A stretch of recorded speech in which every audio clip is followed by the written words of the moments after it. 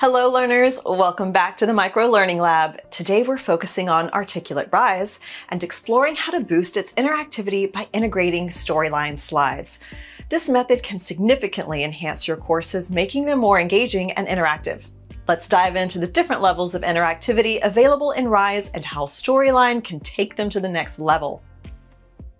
Rise is known for its ease of use and responsiveness, and while it offers solid interactivity on its own, sometimes you might need something a bit more customized.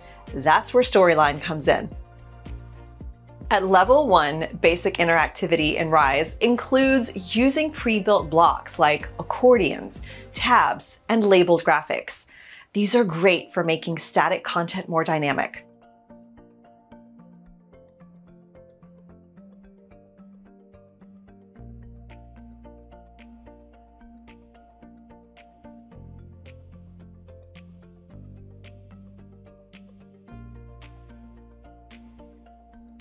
Moving up to level two, moderate interactivity involves using quizzes, sorting activities, and fill in the blanks.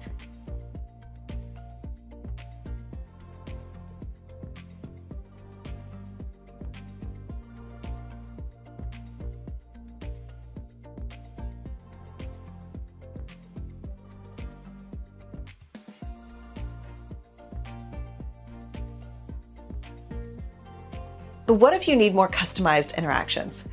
This is where embedding storyline slides into your RISE course can be a game changer.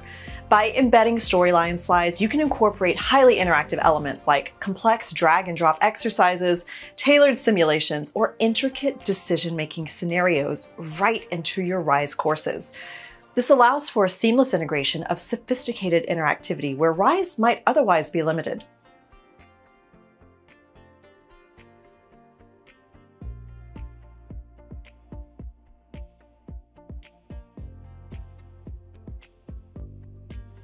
Finally, level three, advanced interactivity.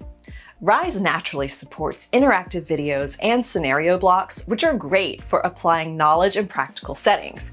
However, embedding storyline slides at this level lets you leverage detailed, scenario-based learning that can adapt based on the learner's decisions, providing a deeply immersive learning experience.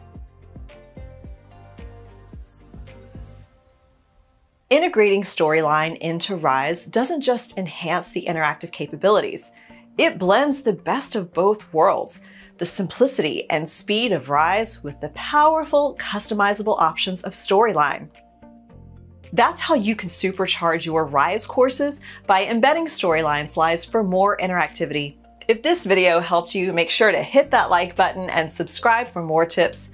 Got any questions or want to share how you've used Storyline with Rise? Comment below, I'd love to hear your stories. If you want to continue learning about microlearning best practices, be sure to subscribe to our channel, the Micro Learning Lab by Ninjatropic. We'll keep sharing the latest tips, tricks, and techniques to help you get the most out of your training programs.